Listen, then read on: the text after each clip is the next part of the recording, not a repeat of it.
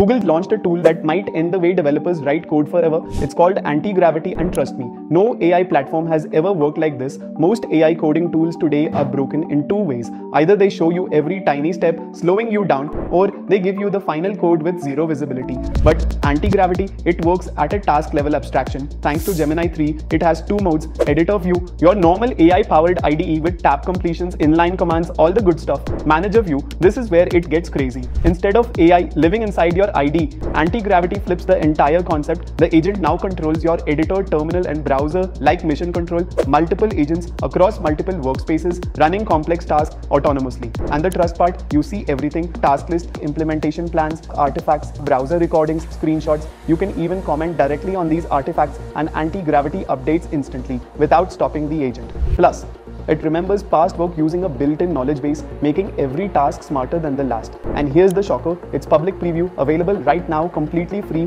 with generous Gemini 3 Pro limits. This is the future of development and you're watching it begin. Comment anti-gravity to get the AI tool link and follow this page for more insane AI drops every day.